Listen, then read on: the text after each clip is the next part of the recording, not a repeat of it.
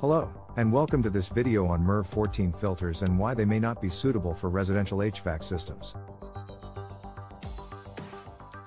MERV 14 filters are highly efficient and capture very small particles such as viruses, bacteria, and smoke. While these filters may be appropriate for some commercial or industrial HVAC systems, using them in residential systems can cause several problems. Let me explain why. First, not all residential HVAC systems are designed to handle high efficiency filters like MERV 14.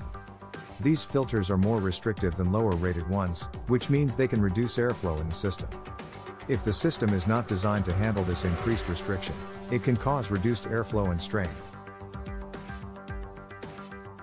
Secondly, some older HVAC systems may be unable to handle the increased pressure drop caused by MERV 14 filters.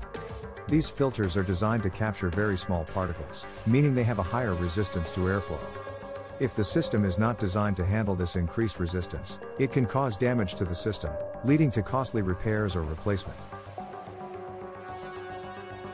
Finally, using a MERV 14 filter in a residential system may not always be necessary.